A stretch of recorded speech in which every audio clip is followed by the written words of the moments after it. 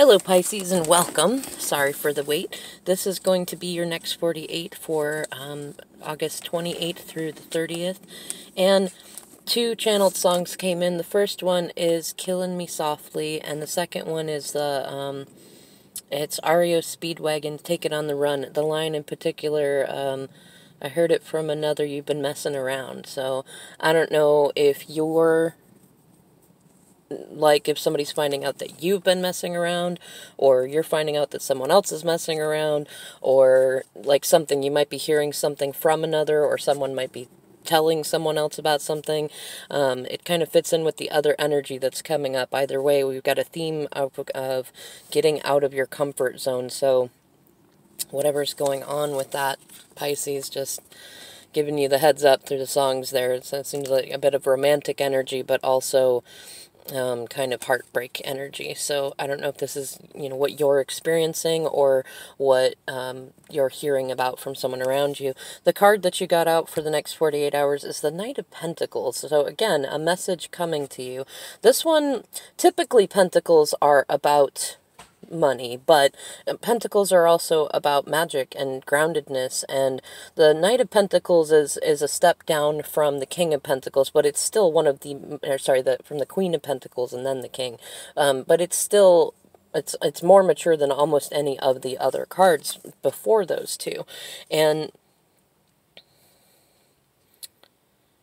I'm really getting called to kind of these I don't know what you call them. They're like that. It's like the saddle, like hanging down in the saddle. It's almost like like a satchel of sorts, like so something's been carried around in there. But it looks really worn and tattered. Like you know, this knight has been on a very very long journey, and it's it could be somebody who's got their money in order finally. Maybe they've you know they've been in this energy for a while, and messages have not been coming because they wanted to be in a more uh, secure place uh, financially and or emotionally and it's funny because right on the bottom in that subconscious position is the King of Cups, who he's not the most mature of all of the, the figures. That's the King of Pentacles, but he is very mature. He doesn't typically say much. He really recognizes that there's a value in just in, in mm, and just not responding sometimes. And so, and he's also, this is typically a Cancer a card, but it also represents Pisces and Scorpio. And he's because it's in your subconscious, it might be Pisces that in your intuitive uh, in your intuition you recognize that this person whether they have can whether they have water traits or not wants to offer you their cup. This is the most loving of all of the kings in there and the most you know definitely the most romantic. Might be a musician also or or just you might have some sort of a music love language with them. And it might be that intuitively you know that this is really them but they are focused on their money more than they are focused on that that intimacy and romance. Um, and, and, it could be that they recognize you know this might be a, a, message of recognition that they are owning what's been in their subconscious and their hearts this whole time. Um, or it might just be that you recognize that um, and that they're not you know they're still talking about money and not really facing their feelings but you know what the real deal is. Um, on as for the hot topic card interesting look at that more cups and it's eight of Cups in particular. I'm really called to the moon in this one, so definitely follow your intuition. And there might be some hidden enemies. It might be that this Knight of Pentacles is attempting to become your King of Cups, or, or if this is you, you might be attempting to do that. Um, but that in walking away from some kind of situation to, to, to go to them or for them to come to you, that there might be somebody that they have to deal with first, or there might be somebody who's um, who might come, you know, might communicate an emotional message to you about their upsetness about this uh, Knight of Pentacles leaving. Oh, interesting. Yeah, we've got more cups, of course. It's funny, when I do the readings, I don't, know if anyone else notices, but typically, depending on the sign I'm reading for, there tend to be more elements that match that sign. Like Pisces, you are water, and cups is the water symbol. Um, this is the Six of Cups, though, and it's typically about kind of like that nostalgic love. It can often be a card of soulmates and reconciliation and just kind of that falling in love sort of energy that you know like we did when we were young. But because of all this mature energy in here it feels like falling in love again sort of thing or at least a desire to. And I, what i'm getting called to a lot of people don't notice in this card if you look right up here there's actually a third figure.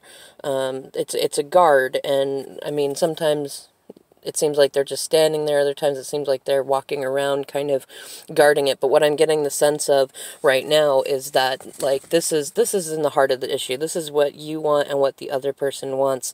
And the problem is is that there's there's a third party involved. There's somebody listening in or watching or being you know and this is somebody that's that's carrying around a spear. So that could be that they do present some sort of danger whether it's uh, real imagined or you know like it could just be reputation damage or it could be literal damage. You don't know. But i'm i'm really getting called to that person in there. It's kind of an unknown energy.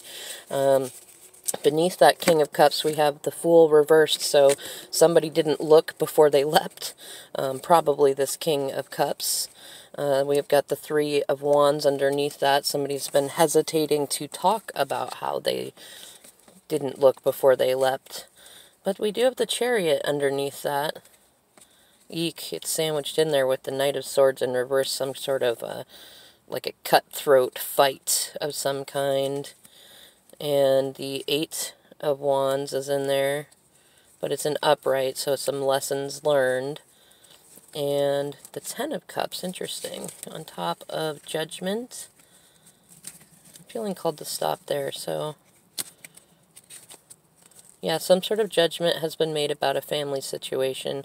Could be that you've made that judgment, or maybe this person has. Um, yeah, tired of tired of somebody is tired of looking at a happy like an emotionally fulfilling situation and not being a part of it. Um, there could be some sort of fight that either has taken place or needs to take place that will create victory. And this is also another card of Cancer and also of Leo. So there's some more of that Cancer energy in there. Um, it could, because we have the Three of Wands in reverse and the, the Fool in reverse, it could be that you might just know about the situation happening intuitively if it's not happening to you directly because of the lack of communication in there. Or, it, I mean, I'm getting the sense that either you or somebody is hesitating on having this conversation.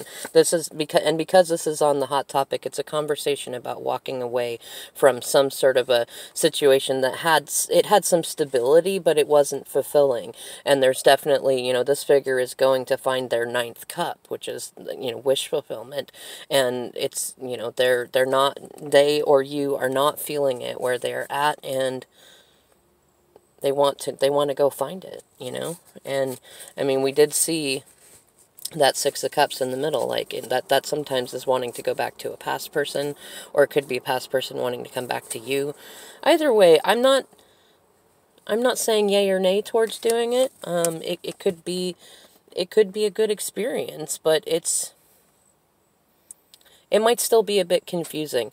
And even allowing so there's been kind of this energy of allowing yourself to receive what you want allow you know if you have some resistance towards accepting this offer from this person like ask yourself like are you stuck in a mindset where you're afraid that well if i accept this what if something goes wrong? Or what if they hurt me again? Or you know what if i hurt them? Or what if it doesn't work out? Like look at that energy and heal that. What is blocking you from allowing you to have exactly what you want pisces? And, you know yeah there's going to be ups and downs but all situations whether uh, money or love or health there are, oh, you're never going to have it good all the time, and it wouldn't be as wonderful if it was good all the time. So really think about that and, you know, consider is it really that you are that afraid to say yes to the situation or to allow this conversation to happen or to receive this message?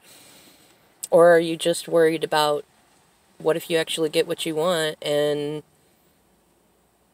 it goes well? Anyways, Pisces, feel, you know, please leave me feedback in the comments below if you have any. Otherwise, I leave my email in the in the description box if anybody'd like a private reading, and I'll see you in the next reading.